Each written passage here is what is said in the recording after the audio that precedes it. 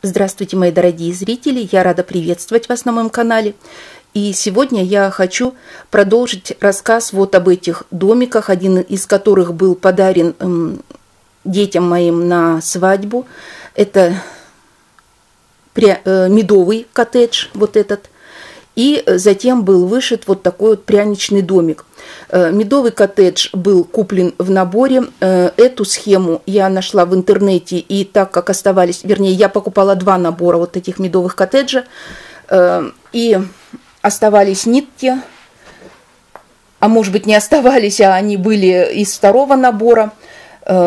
Все это благополучно было вышито, все это уже давным-давно у детей находилось. Это просто очередной раз, когда я взяла для того, чтобы сделать видео об этих работах, но не о них, а вот о тех э, домиках, которые вышиты у меня уже больше, чем полгода, и никак руки не доходили для того, чтобы показать.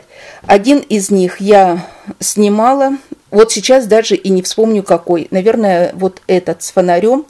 Э, была очередная поездка в Таиланд, это э, май, наверное, ушедшего года, и не закончена она была э, до конца.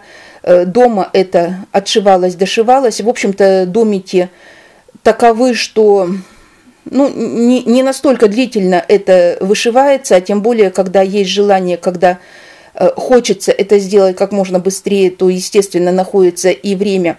Э, ну, это э, абсолютно точно. Тот, кто хочет, ищет э, возможности, тот, кто не хочет, ищет причины.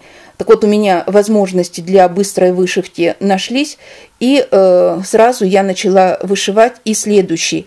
Может быть, кто-то знает еще продолжение вот этой серии. Я сейчас не берусь точно сказать, какой из этих домиков имбирный, какой лакричный. Это надо поискать, посмотреть схемы, но это и не, не вернее, название схем, но это и не принципиально важно.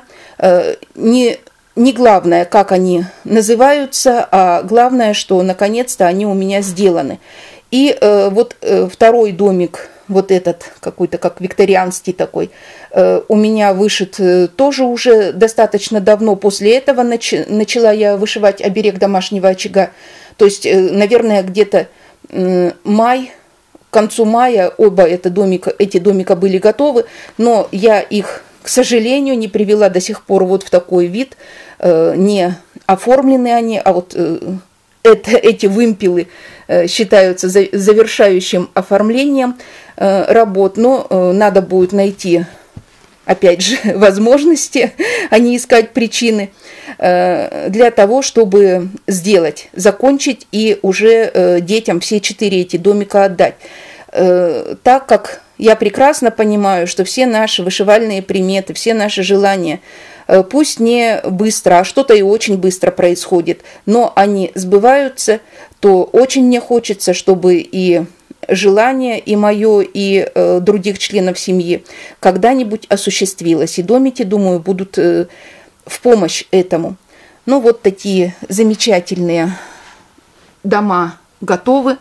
Э, на Третий дом у меня э, был закончен, э, были закончены остатки первого и второго набора от медового коттеджа, который показала в начале, а для вышивки вот этого дома белые нитки оставались, а э, вот этих меланжевых красных уже не было.